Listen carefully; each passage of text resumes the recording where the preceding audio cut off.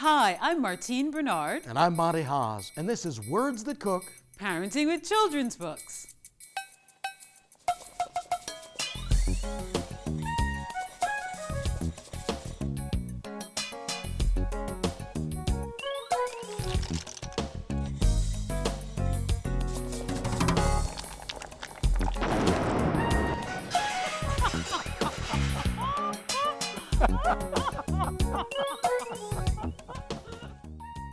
Hey, Martine, what are you up to? I thought you were going to write a story. Well, I was. I mean, I am. Well, Monty, you know that art's a very important part of storytelling, whether it's illustrations in a children's book or animated films. Or even the pictures we draw in our minds when we're listening to stories. right. You know, that reminds me of the theme for today's show the art of storytelling.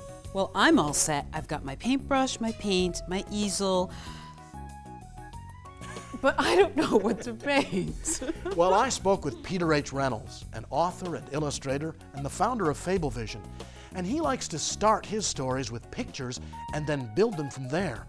In fact, one of his books, The Dot, deals with the whole idea of freeing yourself in order to create. Why don't we see what else Peter has to say about storytelling? This is one of my all-time favorite books in the entire world. You like this book? Look. Isn't it beautiful? Yeah. It's a w- it is. It's a blank book. Peter, I know you love blank books. Why is that? I love blank books because they are an invitation for you to create. Uh, I see a lot of, uh, uh, you know, in school trying to encourage kids to write. But you get a sheet of paper with lines on it, and I love lines. I don't get me wrong, but um, the nice thing about a blank book is it's it's bound. There are sheets of white paper, and if you want to write in lines, you can. But if you want to tell your picture in stories, you can do that, or you can combine the, the, the two. The parents gone out and bought the blank book, and then suddenly they reach the dot point. Where do I start? What do I do? what do you recommend? If your kids are too young to do their own writing, it's perfectly all right for you to sit there and be the scribe. In fact, that's uh, some of the best stories when kids, it just kind of comes flowing out. Write it down. They tell it, you write it. yeah, you write it, and they can. You can illustrate. They can illustrate. You can illustrate together. You can uh, cut things out of magazines and use those as illustrations. Uh, but making it a collaborative effort is uh, it, it, it'll be one of those experiences you never forget. There's my paintbrush, and what I can do is I can dip dip into here like this, right? And then I can paint with my paint with my fingers. Right? Talk to me about developing that sense of story. my kind of storytelling, and there are so many kinds of storytelling out there. For my particular kind of storytelling, I like it simple. In fact, what I, I'll do is I'll st- just take a stack of cards, uh, note cards, and you can get them at a convenience store. Uh, three by five note cards. Sometimes they have lines on. I just flip them over, and there are no lines. And um, and what I'll do is I'll just storyboard out the idea. And I think a really good story you can almost tell without words. And then what I'll do is afterwards I go back and I put captions underneath each picture, and it almost it forces me to keep it as simple as possible. And uh, and then later on I'll take those words and I'll you know type them up onto the computer. And uh, but keeping it keeping it simple, not not confusing the message. How can parents do that? I think some of the best stories that parents tell are the stories of them growing up. And kids love to hear those stories. They, imagining your parents as six-year-olds or ten-year-olds. Um, I mean, all of us have had our own adventures, and it's not just one story. I mean, there are many stories growing up. So uh, think about, you know, is there a story that you can tell of the five-year-old version of you? The six-year-old, the seven, and, and think, you know, dig through photographs and see what they inspire. Peter, help parents out who feel that they've told the story, maybe sitting around the dinner table, but now where do they go with it? What can they do with it? One of my big uh, suggestions is to uh, to write it down, to to actually create one at least one copy, um, and you know make it look pretty, and you know put a wrap it up and put a, bow on it and give it as a gift. What are some of the ways that parents can make storytelling interactive with their kids? the most important part is for you to be interested in the story. So be excited about the story, and also don't be afraid to use voices. You know, uh, if it's a frog, you know, it can be any uh, any voice. You can have fun with it, uh, and also have your kids become characters. Um, and take some time out, and if you want to, role play the role play the story.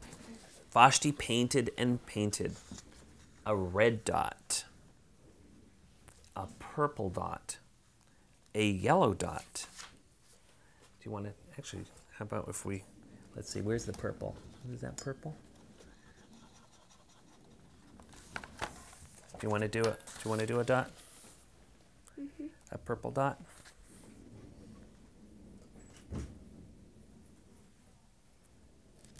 Beautiful.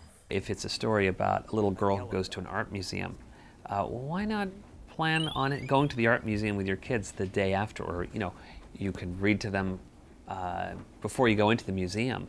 Read that story, and then the museum takes on a whole new, a whole new meaning. And every single book has an opportunity for you to uh, riff on and, and make it become real.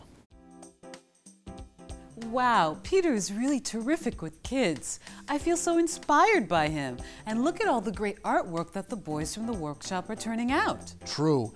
And what's extra great about it is that these boys are mixing stories and interests in art, expanding on ideas they've read about, or launching whole new stories of their own. That's amazing. And not only does Peter fire up the kids he works with, he also inspires their parents.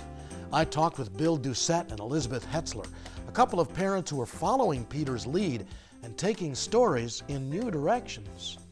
We're making a, a game dealing with Harry Potter in, uh, in his first three books, and um, so we made. Uh, I made a couple of characters. We got Harry Potter going on over here, Norbert, the dragon, yes. coming out of his shell, I like Norbert. and Ian likes Norbert. He wants to be Norbert in the game when we play. Now, with games, you often get into the storytelling aspect of things because that's something that Yeah, grows so out it's of not it. like just roll the dice, move a guy around, or something like that. Um, with the, the Harry Potter game that we're making, we're going to be making these uh, cards that tell them what they have to do.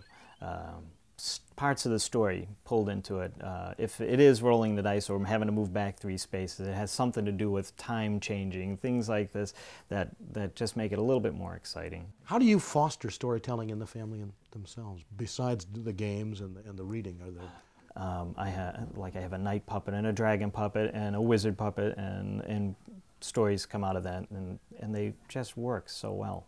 Um, any just anything that you have an interest in or had an interest in as a kid that you can bring back and, and kind of show them how much you have. If you're having fun with something, the child is going to want to have fun with you with that something.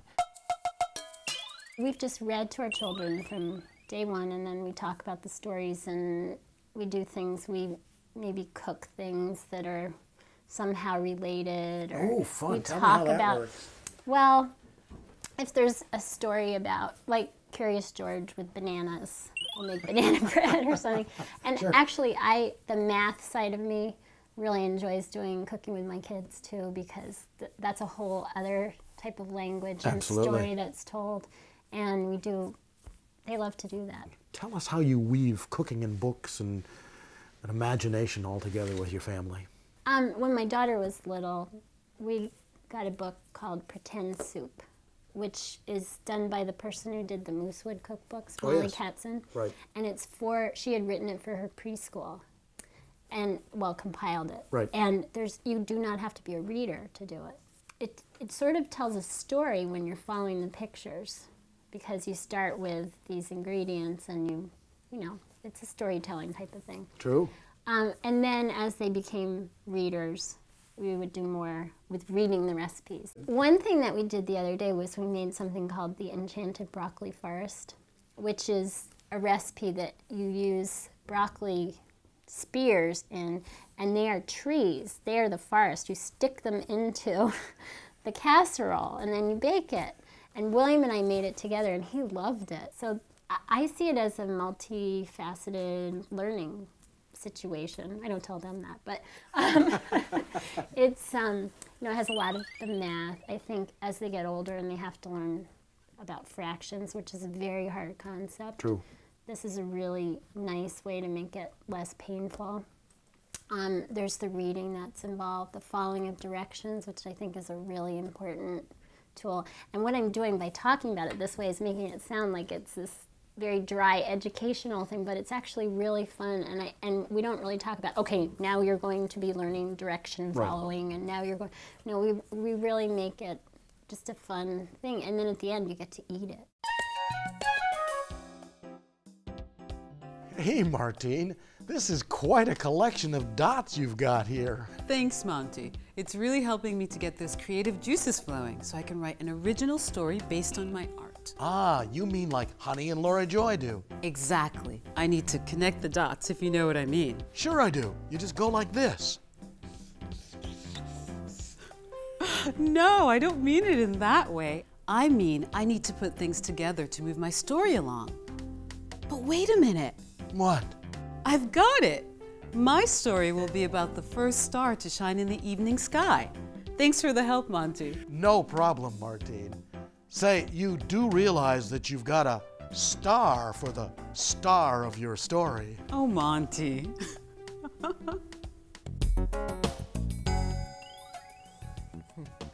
I see Honey has found her favorite Honey as Artist photograph and some of her drawings for her storytelling time. Art is something Honey really likes to do in her free time. Honey has lots of stories to tell about the things she likes, and sometimes she tells me her stories by drawing pictures. We like to talk about what she draws and write down her words as we go. Today she's drawing flowers, and we've been talking about how they grow in the spring.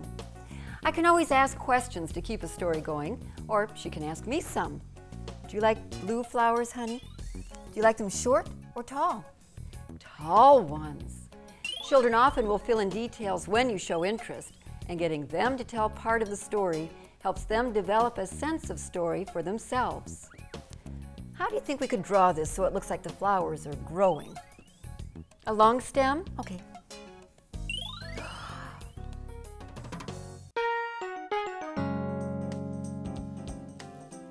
Feeding the fish, Martine? How is the catfish today? You mean le poisson chat. Martine, you know I can't speak French. Come on, Monty, just try the pronunciation. Le poisson chat. Le poisson chat. And the seahorse is le hippocampe. Le hippocampe. See, you can do it. Now try the dogfish. Le chien de mer. Le chien de mer. Very good. It's so much fun to speak in French, my first language. Our next guest, Luis Gonzalez, loves telling stories in his first language, Spanish. He has some great ideas for building stories with kids, too. What's that? That is the clownfish.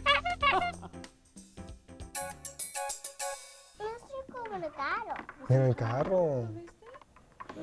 Mm, quack, quack. Mira pato, quack, quack. One of the first stories we ever told, uh, the ones I told to Ariana, it was about, um, it was a peanut. It was a peanut in Spanish, it's a cacahuate. And so we made up this funny little story about a peanut whose name he couldn't say. He was so tiny that he couldn't say his name and he said it as tatahuate. And so we had, we had a great time with that. And she comes back to the story every, every time we do stories. How do you begin? Right before she goes to sleep, we're very comfortable. And so when she doesn't have a book that she's prepared for to read that night, you know, she'll she'll just say, "Oh, let's let's do a story," and that that's how we start. And when she starts to think that she could introduce the idea of having a story told to her, she lights up. Now Gil has a scar on his side and his fin, right? So do, do you know how he got that scar? No. Well, he was a little boy when Gil was a little fish, and he used to be he used to be very scared of everything. He didn't want to go anywhere without his mom and his daddy, or he wanted to be close to his friends. Where do your characters come from?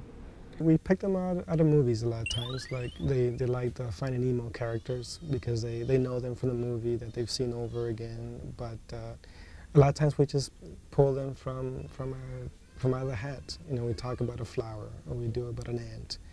Uh, we've done stories about caterpillars, and so we we we get creative with with the subject. But a lot of times they, they go back to, to the movie characters because they, they know them so well. Who likes Bubbles on Finding Nemo? Bubbles.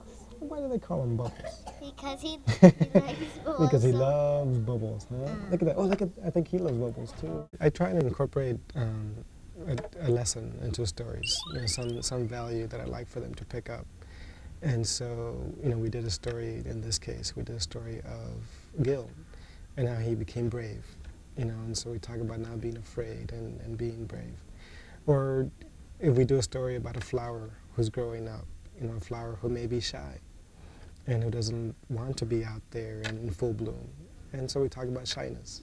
So I, I try and do that. What are some of the tips that you could offer to parents who don't have that much time or who don't feel as creative about creating stories? You don't have to be ultra creative. Um, the very first story, I, the very first story I ever told to them was about an ant.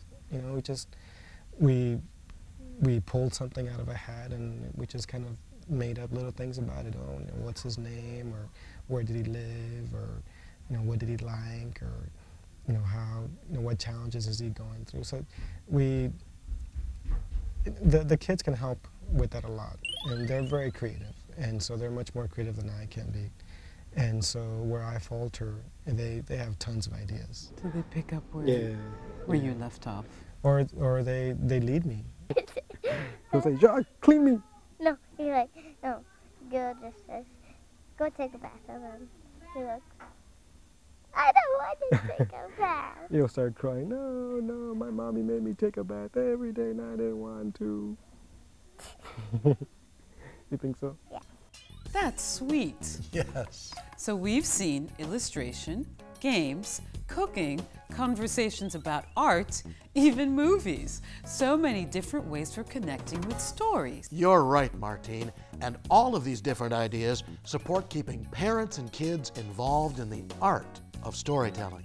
Who knew that there could be so many ways to originate, tell, and extend stories? Our guests certainly knew, and I'm so glad that they've shared that with us. Me too, but we're not done yet. Right. Bonnie Greenberg, a professional storyteller, has her own way of keeping families involved. Wow! And Sonny Boy and Grandma came running up the stairs and said, Sonny Boy, you're driving me crazy. Oh, I know, I know. I'm gonna get the piggy and put the piggy in bed with you. Then will you be afraid when I close the squeaky door? Sonny Boy said, No, not me. Bonnie, what got you started on storytelling? Well, Monty, you know I'm a speech language pathologist, Yes. and I've been doing that for a number of years. But storytelling started way before that. When I was a little girl, my grandfather answered every question I had with a story. And he would say to me, Bonilla, do you understand? And I would say, Yes, Sadie. He'd say, Then tell it to me back. So I've had him as my very first coach, and I've been telling stories since I was about five years old. Bonnie, one of the things I loved that you did with the children and the parents in the story itself was the repetition that allowed them to really bring it home, that allowed them to participate. Talk to us about repetition and its importance in storytelling. Well, especially with a group this age, if you tell a story like The Squeaky Door, all you have to do is say a couple of those chants one or two times, and the children spontaneously join in. I love to watch their faces when they're going, Not me. the parents were laughing too. It was so much fun to bring them all in. Sonny boy, you're driving me crazy. Oh, I know. I know. I'm going to get the doggy and put the doggy in bed with you. Then will you be afraid when I close the squeaky door? Sonny Boy said, No, not me. Repeating that part of the story, having gestures that go along with it naturally, that's the thing that gives them like a whole body experience and they take that home. That helps them remember it. Stories are a mnemonic, they are a way of remembering information. So when I do storytelling, the magic of storytelling in the classroom, and I tell people once you get all your information in story form, the students have a much better chance of remembering that information. I wish I could have some stars in my branches too. And she sent her wish right up to heaven, and a voice came out of the heavens and said, Patience, little apple tree. Jay O'Callahan is my mentor, and he taught me that Really, storytelling is theater of the face, and you're using your face in so many ways the expressions on your face, the voice that comes out of your body. You can vary the pace, you can vary the volume. I did a lot of that today, as a matter of fact, so that the children could also try saying things very loudly or very softly. And they could sing along and do motions, or they could do the motions without singing. That was beautiful. And they remembered the sequence. Yes, they did. And we only sang it three times, but they got the sequence. And that's a very important thing for learning to read and learning to comprehend what you're being told in school. May there always be sunshine. May there always be blue skies. May there always be mama. May there always be me. What do you suggest to parents when one child in the family seems to excel at storytelling and the other child maybe stands in the shadow? I think that would be a time to do group storytelling. One of my favorite storytelling games for home is to have the parents sit around with the children and tell a story that they're making up. Or it could be one they all know, like Goldilocks and the Three Bears. One person starts it, that's the beginning or the kickoff. The next person tells the middle, and the third person brings it to an end. Now you can play that same game again, but this time this person tells the beginning, then this person tells the middle. And after a while, children lose their self consciousness because they're focusing on what part of the story they're telling. I see you've brought a book to share. I did. This is called Bringing the Story Home The Complete Guide to Storytelling for Parents. And it was written by a friend of mine, Lisa Lipkin, a New York storyteller. What does it give parents? Inside this book, you have some great bibliographies and resources, and in addition, some specific exercises, things you can do to make storytelling a very special time in your home. For example, one of the things you can do is create a ritual around storytelling so that it occurs in a special place, a special chair perhaps, or with a special afghan, the story quilt maybe. Nice. Another thing I do sometimes is light a candle, and that starts the storytelling. And at the end of the last story, I blow it out. Now let's review the highlights of today's show. Peter H. Reynolds suggests consider starting stories with pictures. Write down the stories you tell. Have fun with stories. Use voices and role play. Like Bill Doucette, create games based on stories. Don't forget, having fun is contagious. Elizabeth Hetzler recommends read together and discuss stories from day one. Remember, fun activities can help children learn vital skills. Lori Joy suggests discuss pictures and use children's words for captions. Ask questions to keep stories going. Like Luis Gonzalez, integrate your first language into storytelling. Let children build stories with you. Bonnie Greenberg recommends try repeating phrases and gestures in stories. Provide opportunities for children to participate. Look for books with storytelling ideas and exercises. Now here's Miriam Marecek's recommended Words That Cook book list. Brought to you by the Cookie Bookie Bears.